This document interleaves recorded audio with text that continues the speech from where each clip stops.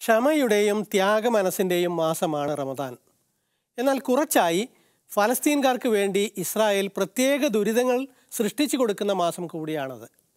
പള്ളിയിൽ കയറി rubber bullet ഉതിർക്കുക ഗ്രനേഡ് എറിയുക പ്രായമായവരെ നിന്ദിക്കുക മുതിർന്നവരെയും കുട്ടികളെയും വിരട്ടുക ഇതൊക്കെയാണ് ഇസ്രായേലിന്റെ റമദാൻ സമ്മാനങ്ങൾ. Every single Ramadan, we witness the same horrific images that dominate our screens.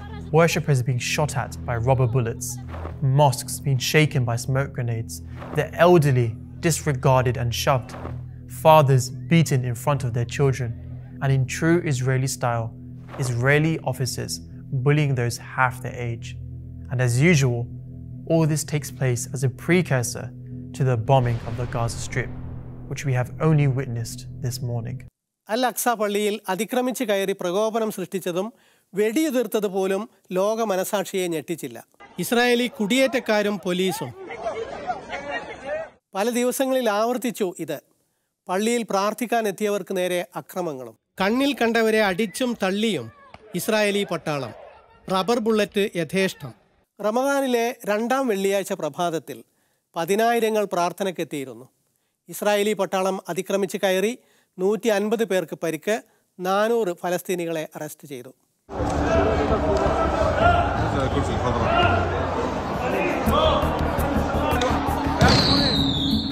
പരിഷ്കൃത സമൂഹത്തിൽ മനുഷ്യ സമൂഹത്തിൽ നെറികെട്ട പാതകകൾ പോലും ചെയ്യാൻ മടിക്കുന്നത്. എന്നിട്ടും മാധ്യമങ്ങൾ അത് ചെറുതായിട്ടാണ് കണ്ടത്.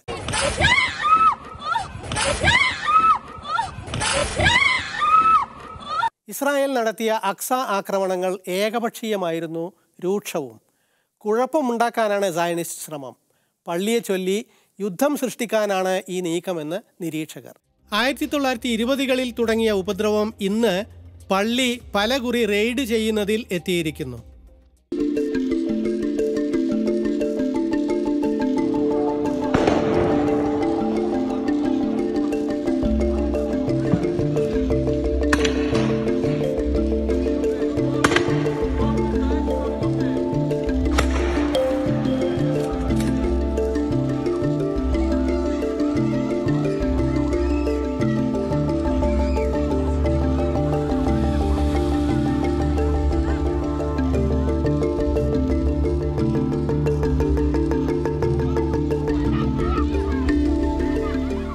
വർഷം റമദാന് ശേഷവും റെയ്ഡുകൾ നടന്നു. ജൂലൈയിൽ ഇസ്രായേൽ പട്ടാളവും കുറെ ഇസ്രായേലി കുടിയേറ്റക്കാരും പള്ളിയിൽ അതിക്രമിച്ച് കടന്നു. പ്രാർത്ഥിക്കാനെത്തിയവരെ വിരട്ടിയോടിച്ചു കുറെ പേരെ പള്ളിക്കുള്ളിൽ പൂട്ടിയിട്ടു. അനേകം പേർക്ക് പരിക്കേറ്റു. ഇക്കൊല്ലം ഫെബ്രുവരിയിൽ ഇസ്രായേലികൾ മുസ്ലിം വേഷത്തിൽ പള്ളിയിൽ കടന്നതായി റിപ്പോർട്ടുകൾ വന്നിരുന്നു. അൽ അക്സ തങ്ങളുടേതാണെന്നും ദൈവം തങ്ങൾക്ക് വാഗ്ദാനം ചെയ്തതാണെന്നുമാണ് ഇസ്രായേലി തീവ്രവാദികളുടെ വാദം. റമദാൻ ആയപ്പോഴേക്കും പട്ടാളത്തിന്റെ ഇടപെടലും കൂടി.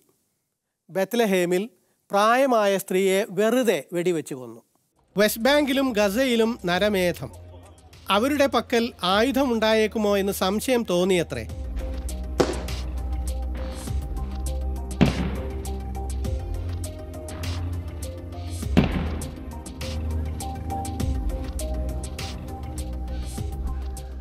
നിസ്സഹായയായി ഓടി രക്ഷപ്പെടാൻ നോക്കുമ്പോഴാണ് വെടി.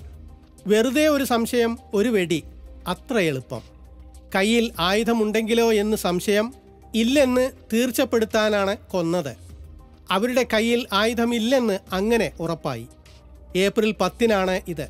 ഇതിനു മുൻപും ശേഷവുമായി ഇസ്രായേൽ പട്ടാളം വെറുതെ കൊന്നവർ കുറേയുണ്ട്. നിയമമില്ല മനുഷ്യത്വമില്ല.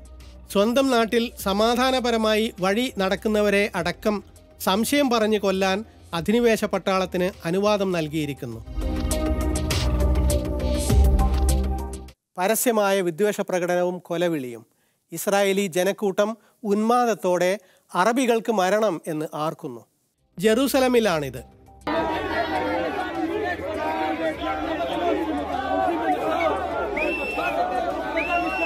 ആൾക്കൂട്ടം തെരുവിലാർക്കുന്നു. പട്ടാളം അൽ അക്സയിലേക്ക് വെടിയുതിർക്കുന്നു.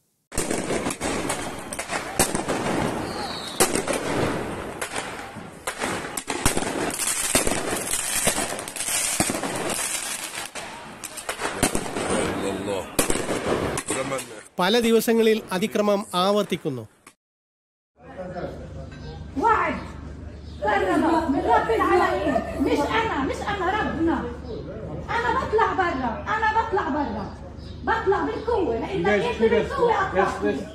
ഒരു ഫലസ്തീനി വനിത പ്രതിഷേധിക്കുന്ന രംഗമാണിത്. അവരെ പട്ടാളം ബലമായി പള്ളിയിൽ നിന്ന് പുറത്താക്കിയതാണ്. മറ്റൊരിടത്ത് ഒന്നുമില്ലെങ്കിലും ചുരുങ്ങിയത് നോക്കി പേടിപ്പിക്കുന്ന ഇസ്രായേലി പട്ടാളക്കാരി.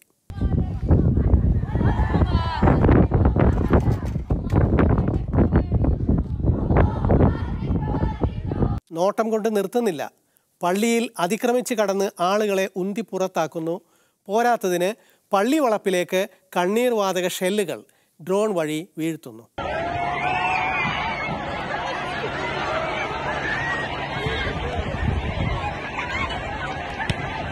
ആരാധനയ്ക്കെത്തിയവരെ വിരട്ടുന്നു.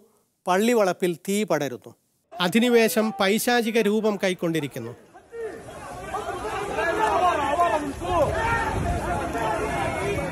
ഇത്രയൊക്കെ നടക്കുമ്പോൾ ലോകമാധ്യമങ്ങൾ യുക്രൈനിലെ റഷ്യൻ ആക്രമണത്തിൽ മാത്രം അനീതി കണ്ടു. നൂറ്റാണ്ടിന്റെ അനീതി കാണാതെ ഒന്നര മാസത്തെ അതിക്രമത്തിൽ കണ്ണു നട്ടവർ ഫലസ്തീൻ ഭൂമി ഇസ്രായേൽ പിടിച്ചെടുത്തത് കാണിക്കുന്ന മാപ്പാണിത്. ചാരനിറം ഫലസ്തീൻ ഭൂമി നീല ഇസ്രായേൽ കൈയടക്കിയത്. ആയിരത്തി എണ്ണൂറ്റി എൺപത്തി രണ്ടിൽ ആദ്യ സയണിസ്റ്റ് കോളനി. ആയിരത്തി തൊള്ളായിരത്തി നാൽപ്പത്തി ഏഴിൽ ബ്രിട്ടീഷ് ആധിപത്യം അവസാനിക്കുമ്പോഴേക്കും ഇസ്രായേലി കയ്യേറ്റം വ്യാപിച്ചു. ആയിരത്തി തൊള്ളായിരത്തി അറുപത്തി ആറോടെ കൂടുതൽ ഫലസ്തീൻ ഭൂമി ഇസ്രായേൽ സ്വന്തമാക്കി. ഇന്ന് ഫലസ്തീനെ പാടെ വിഴുങ്ങിയ പോലെ. അന്താരാഷ്ട്ര നിയമം അനുസരിച്ച് അധിനിവിഷ്ട ദേശക്കാർക്ക് ചെറുത്തു നിൽക്കാനും പോരാടാനും അവകാശമുണ്ട്. പക്ഷേ ഇവിടെ അധിനിവേശകർ തദ്ദേശ ജനതയെ കൊന്നു തീർക്കുകയാണ്. ഗസയിൽ കഴിഞ്ഞയാഴ്ച നടത്തിയ ബോംബാക്രമണം. പട്ടാളം വെടിവെച്ച് കൊന്ന പതിനെട്ടുകാരി ഹനാൻ. ഫലസ്തീനി കുട്ടികൾ തടവിലാക്കപ്പെടുന്നു. പട്ടാളക്കാർ അവരെ ഭീഷണിപ്പെടുത്തുകയും മർദ്ദിക്കുകയും ചെയ്യുന്നു Each year, approximately 500 to 700 Palestinian children, some as young as 12 years old, are detained and imprisoned in the Israeli military detention system. ഇവർ ഇസ്രായേൽ തടവിലാക്കിയ അസംഖ്യം കുട്ടികളിൽ മൂന്ന് പേർ ഓരോ വർഷവും അഞ്ഞൂറ് മുതൽ എഴുന്നൂറ് വരെ ഫലസ്തീൻ കുട്ടികളെ ഇസ്രായേലിന്റെ പട്ടാള ജയിലിൽ പിടിച്ചിടാറുണ്ട് കഴിഞ്ഞ മാസത്തെ ഒരു രംഗം.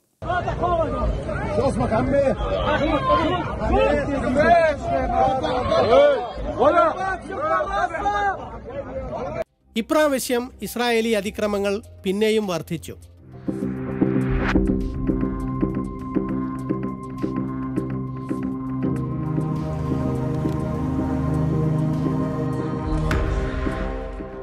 ഇസ്രായേലി കുടിയേറ്റക്കാരനെ വധിച്ചു എന്നാരോപിച്ച് രണ്ട് ഫലസ്തീൻകാരുടെ വീടുകൾ തകർത്തു. പ്രതിഷേധിച്ച് കല്ലെറിഞ്ഞ ഒരു ബാലനെ പിടിച്ചു കൊണ്ടുപോയി.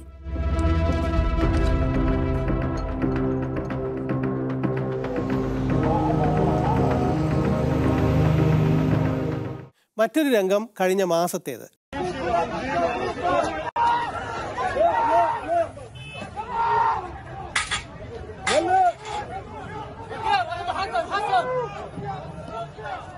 കുട്ടികളും യുവാക്കളും മാത്രമല്ല ഇരകൾ.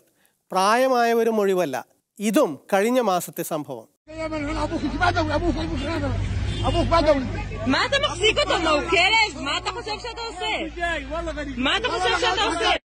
യുക്രൈനിലെ റഷ്യൻ ആക്രമണം മാത്രം അറിഞ്ഞ മാധ്യമങ്ങൾ ഫലസ്തീനിൽ വർഷങ്ങളായി നടക്കുന്ന ഈ ക്രൂരതകൾ കാണുന്നില്ല. അറിഞ്ഞാൽ തന്നെ തീർത്തും ഏകപക്ഷീയമായ ഈ ആക്രമങ്ങളെ ക്ലാഷ് എന്ന് തുല്യ ശക്തികൾ തമ്മിലുള്ള സംഘർഷം എന്ന് വിളിക്കാനാണ് അവയ്ക്ക് താല്പര്യം ഏകപക്ഷീയമായ ആക്രമണം. നൂറ്റി അൻപതിലേറെ ഫലസ്തീൻകാർക്ക് പരിക്ക്. ഇതിനെയാണ് വെറും തമ്മിൽ പോര് ക്ലാഷസ് സംഘർഷം എന്ന് വിളിക്കുന്നത്. മുൻ വർഷങ്ങളിലും തലക്കെട്ട് ഇതുതന്നെ.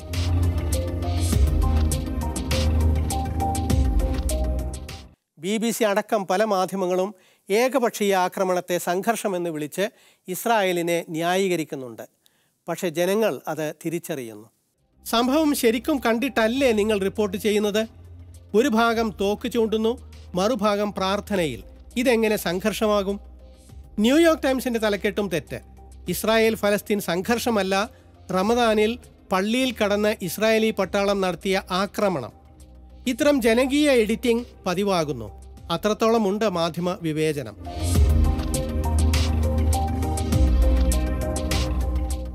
മാധ്യമപ്രവർത്തകനായ റിച്ചർഡ് മെഡ്ഹേസ്റ്റ് ക്ലാഷസ് എന്ന വാക്കിൽ ഒളിഞ്ഞിരിക്കുന്ന പക്ഷപാതിത്വത്തെപ്പറ്റി പറയുന്നു I think a lot of people are finally starting to realize just how dishonest the media are when they talk about what's happening in Palestine as clashes. I- If these were videos from Ukraine, if they showed Russian soldiers abusing Ukrainians, it would be front page news. You would have no problem looking at that and calling that violence. But because it's happening to Palestinians, oh, now it's a clash. Oh, it's both sides. Look, man, when you have gangs of uniformed thugs draped in riot gear bursting into a mosque and shooting people with tear gas while they're praying, that's not a clash. That's literally the definition of brutality. And this idea that if Palestinians dare to throw a rock in self defense at somebody that's tear gassing them, that they're somehow equally to blame. I mean, what is this, this colonial slave mentality? Like, how dare you defend yourself? ഒരു ഭാഗത്ത് സ്വന്തം രാജ്യം പോലുമില്ലാത്ത ജനത അവകാശങ്ങളില്ല സൈന്യമില്ല സ്വന്തം നാട്ടിൽ അഭയാർത്ഥികൾ മറുപക്ഷത്തിന് ആണവായുധം വരെ ഉണ്ട് വ്യോമസേനയും പണവുമൊക്കെ ഉണ്ട് അവർ നടത്തുന്ന ഏകപക്ഷീയ ആക്രമണം എങ്ങനെ സംഘർഷമാകും You know, Palestinians are living two, three generations as refugees on their own land. They have no state, they have no equal rights, no armed forces.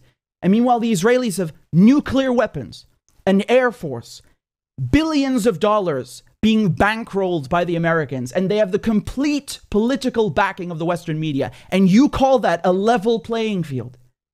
There is nothing about this that is even remotely comparable. Anybody calling this a clash or going, oh, it's complicated, is either clueless or being dishonest. And the media, they always have these colorful, creative ways to avoid saying that Israel is occupying Palestine. Oh, it's both sides being violent. Oh, there are tensions because it's Easter and Passover and Ramadan coinciding. No, no, no, no, no. Get one thing straight. There are no tensions between Muslims and Christians and Jews. There are only tensions between colonizers and the colonized.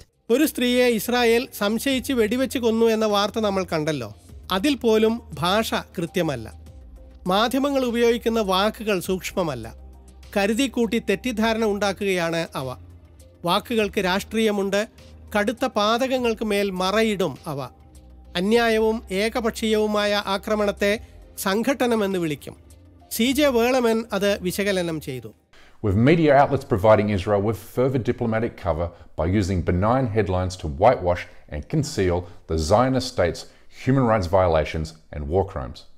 I mean, look how the Newswire Associated Press reported the raid, which left more than 150 Palestinians injured at the hands of heavily armed Israeli soldiers.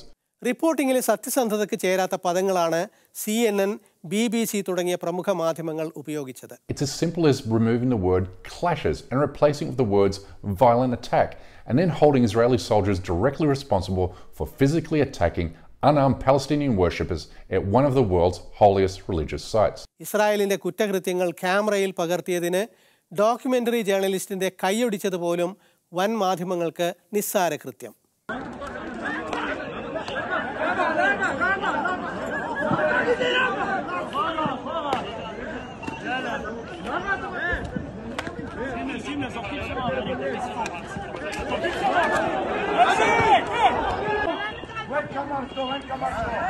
കഴിഞ്ഞ കൊല്ലത്തെ റമദാനിൽ associated പ്രസിന്റെയും അൽ ജസീറയുടെയും ഫലസ്തീൻ ഓഫീസുകൾ Israel ബോംബിട്ട് തകർത്തു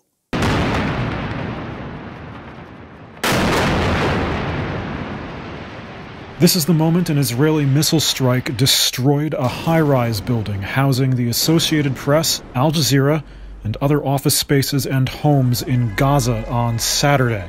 ഫലസ്തീനി photo journalist Rami al ഖത്തീബിന്റെ കുറ്റം അൽ അക്സയിൽ Israeli പടയുടെ ചെയ്തികൾ പകർത്തിയതാണ്.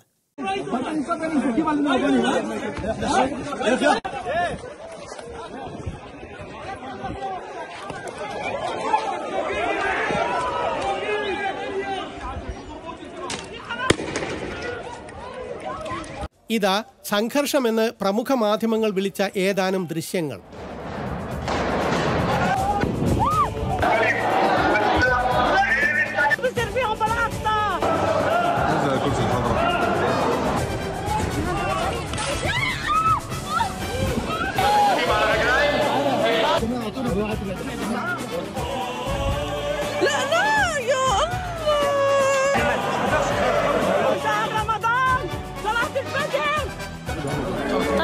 تفرجوا تفرجوا صوت قنبلة صوت على الأبواب അതെ വാക്കുകൾക്ക് രാഷ്ട്രീയമുണ്ട് കൃത്യമായ അർത്ഥമുണ്ട് ഒന്നുകിൽ പാശ്ചാത്യ മാധ്യമങ്ങൾക്ക് അത് അറിയില്ല അല്ലെങ്കിൽ വളരെ നന്നായി അറിയാം രണ്ടായാലും ഫലസ്തീനിനോട് അവർ ചെയ്യുന്നത് നെറികേടാണ്